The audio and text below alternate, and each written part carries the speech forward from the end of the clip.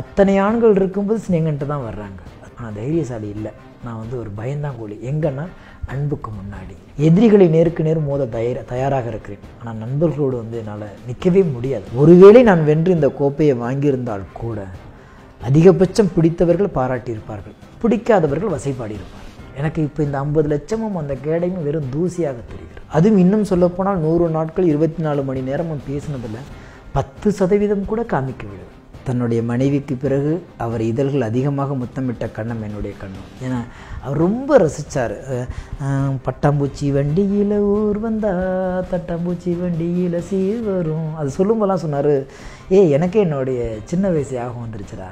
அறியாத வயசு புரியாத மனசுல இப்படி ஒன்று பண்ணிட்டாங்கப்பானா நீங்க பிக் பாஸ்ல யாரை சொல்லுவீங்க? எதுக்காக சொல்லுவீங்க? எனக்கு என்னுடைய சகோதரி ஓவியாவுக்கு சொல்லுவேன் நீங்கள் ஒவ்வொரு மேடையிலையும் நான் செய்கிறேன் நான் செய்கிறேன் என் அரசுன்னு சொல்லும் போதெல்லாம் அந்த ஆளுமை நிற்கும். அந்த ஆளுமை தான் ஆயிரம் ஆண்களுக்கு சமமாக ஆட்சி செய்து கொண்டிருக்கிறது விடாதீங்கன்னு சொல்லுவேன். எது எப்படியோ இருபத்தி நாலு மணி நேரத்தில் பதினெட்டு கோடி பேர் பார்த்த ஒரே வீடியோ இது வரைக்கும் அதுதான். எல்லா காதலுக்குள்ளும் நட்பு இருக்கோ இல்லையோ ஆனால் எல்லா நட்புக்குள்ளும் காதல் இருக்கும். நண்பன் தான் காதலனாக மாற முடியும். வேற எவனும் மாற முடியாது. எனது படுக்கரைக்கு உனது பேர் வைக்கவா? உன்னை தவிர ஒருத்தனும் வரக்கூடாது. அந்த நே- எப்போதுமே நம்ம சிம்பு வந்து ரொம்ப விளையாட்டுத்தனமாக நினைப்போம். ஏன்னா சிம்புக்காக வேண்டி நான் நிறைய இடத்துல நான் வக்காலத்தை வாங்கியிருக்கேன். எவனோ எழுதினதை விமர்சனம் செய்தே பிழைப்பு நடத்துபவர்களுக்கு அதுக்கு பெரும் சோறு போட்டது அந்த பாட்டு. அது ஏன் சிநேகனின் மேலே மட்டும் இத்தனை கண்கள் வைத்து கொண்டிருக்கிறது? மிக அதிகமான எதிரிகளை சம்பாதித்தவன் அதனால் நான் மிக பலமானவனாக இருக்கிறேன். கமல் சார் தான் என்னை பொறுத்த வரைக்கும் என்னுடைய உச்சம். அது எந்த நடிகராக இருந்தாலும் சொல்லுவேன். இப்போ கூட இந்த பிக் பாஸ்லேருந்து வெளில வந்தவொடனே ஒரு ப்ரெஸ் மீட் வைக்க சொன்னாங்க. நான் என்ன சாதிச்சுட்டு வந்தேன் ப்ரெஸ் மீட் வச்சு சொல்ல போகிறீங்க ஏன்னா ஒய் அப்படின்னாரு.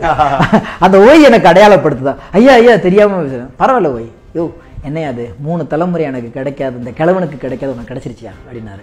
கல்யாணம் தான் கட்டிக்கிட்டு ஓடி பழமாக ஓடி போய் கல்யாணம். தான் இதுதாயா சினிமா.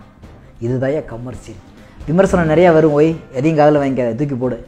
காசு பணம் செலவழிஞ்சிடுமேனு பயம் இல்லை. பணம் கொடுத்து என்னை எழுத வைப்பதா? கேவலமாக இருக்கிறது அஜித் மீது எனக்கு ஒரு மிகப்பெரிய ஒரு மரியாதை உண்டு. பொது இடங்களுக்கு வருவதில்லை பொது விளம்பரங்களுக்கு வருவதில்லை பொது ஜனங்களோடு அவர் கிட்ட வரலையே அப்படின்னு கிடைக்கும்போது அதில் கூட சொன்னேன் நான் எல்லாருக்கும் ஃப்ரெண்டுன்னு சொல்லி தான் பாட்டே ஆரம்பிச்சிருக்கேன்.